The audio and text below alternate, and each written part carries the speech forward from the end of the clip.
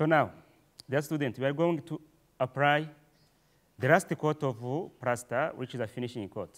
So we have seen that the finishing coat is applied over the second coat of plaster, which is a floating coat, which has already hardened. Okay? So the step to be followed when we apply this last coat are the similar as the previous one. That is why the first step is to humidify our wall.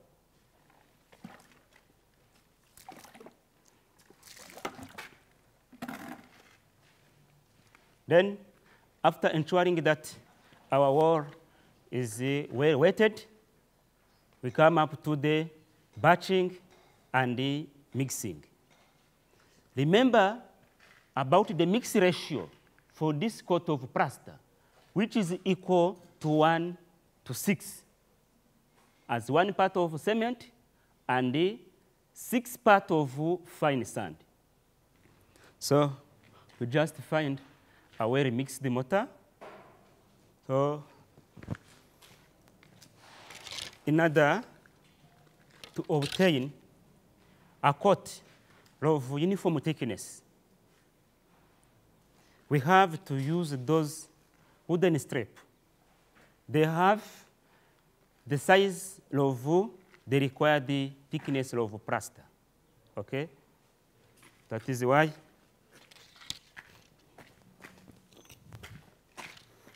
we fix the strip on the both end of the wall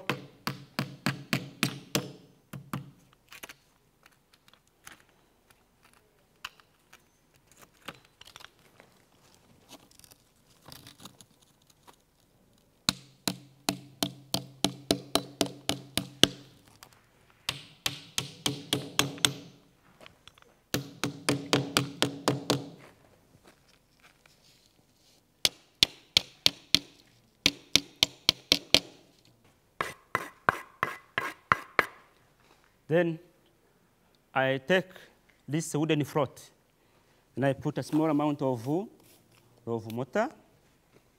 Then I, st I start to apply.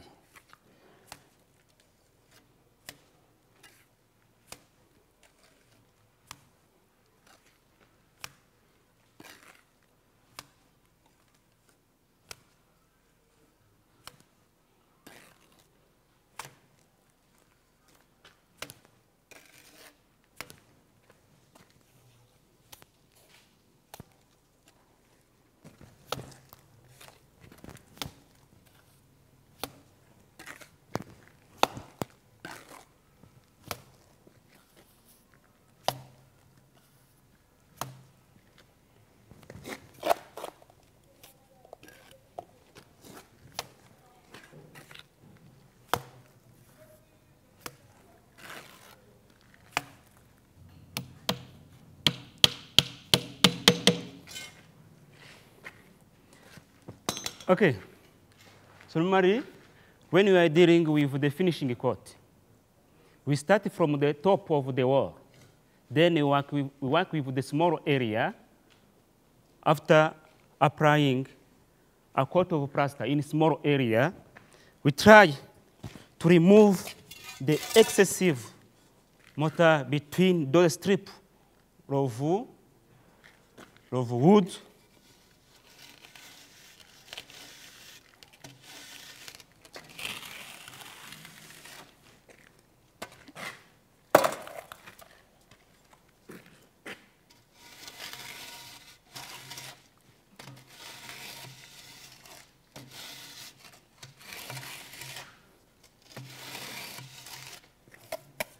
If there are some remaining holes, like those ones, those irregularities, they must be filled with a mortar.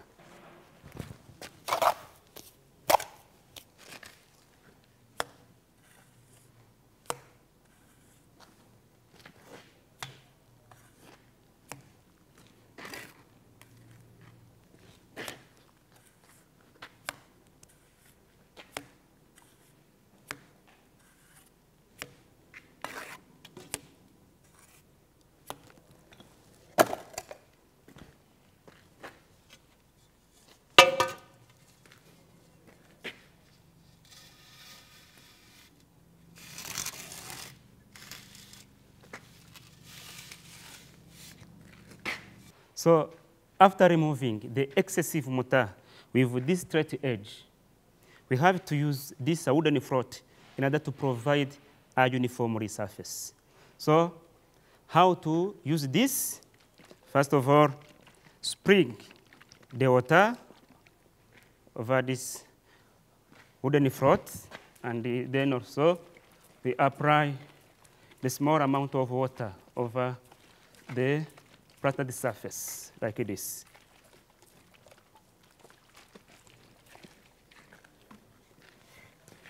So this is the process of floating.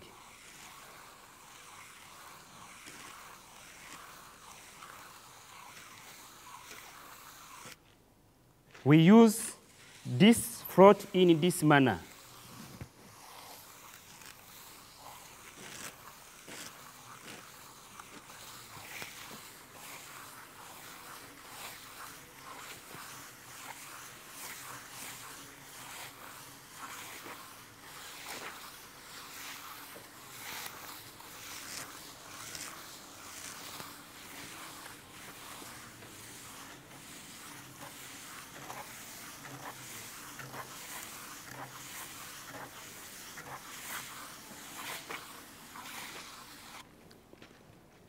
When you are floating the surface, you have to be ensured that there is no pins remain on the plastic surface or any holes. That is why if the pins are remain, you can take the small amount of mortar, then try to fill it.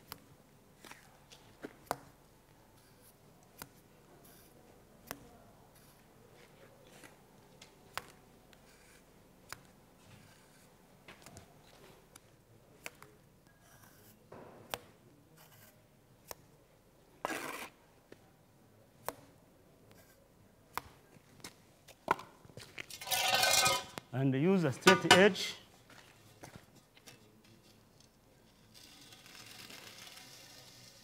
to remove any excessive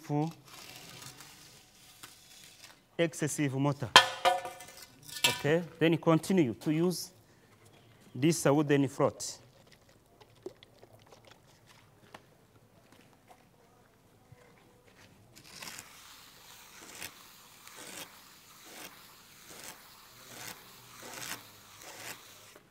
You see how to use a wooden float.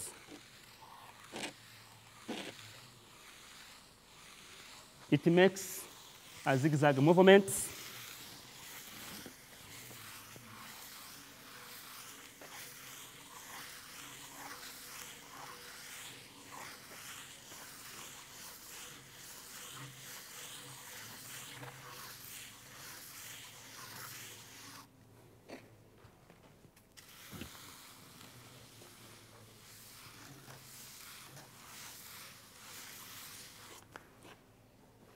Then, when you finish to float our surface, you can use the straight edge in order to check if there is any gap.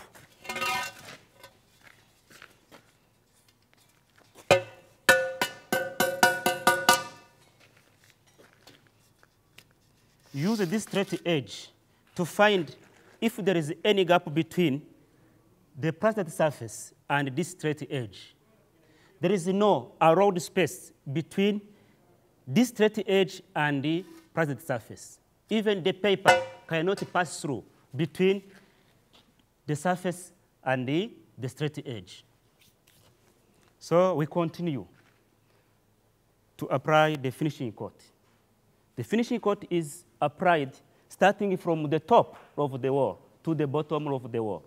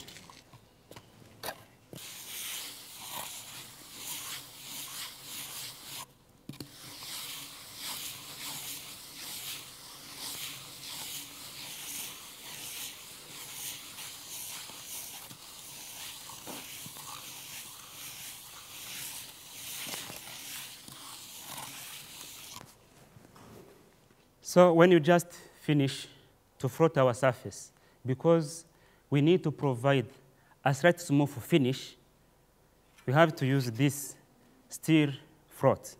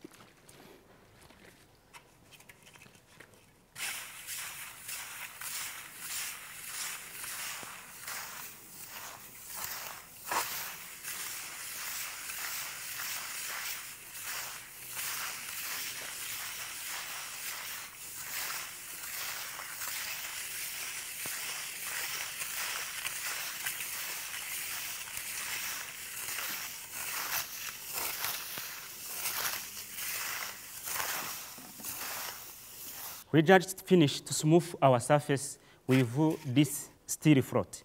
So, dear student, when the surface is well toward at the high rate, this can cause the cracking of plaster. That is why you have to use this sponge in order to eliminate the excessive trowelling.